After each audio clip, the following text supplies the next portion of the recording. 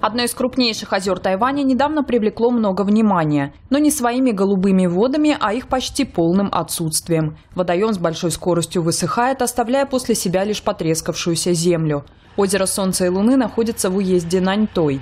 Оно мелеет, поскольку на острове продолжается рекордная за всю его историю засуха. Многие работники сферы туризма говорят, что это большой экономический удар.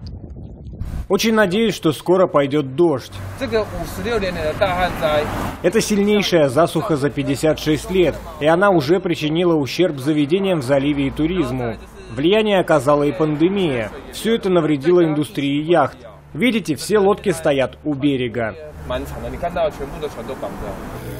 Не думала, что засуха будет такой серьезной. Я видела репортажи и фото, но они снимали лишь небольшую часть озера. Потом я сюда приехала, и подруга сказала мне, что озеро покрывало всю огромную площадь, которая превратилась в луг. Теперь я понимаю, насколько это сильная засуха.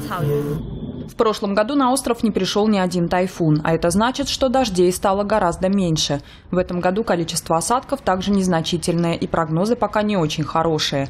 Май для Тайваня выдался особенно жарким. В некоторых регионах острова до плюс 40. Из-за засухи также начались перебои с электричеством, поскольку гидроэлектростанции работают на минимуме своих возможностей. Это уже привело к двум крупным отключениям электроэнергии по всему острову менее чем за неделю.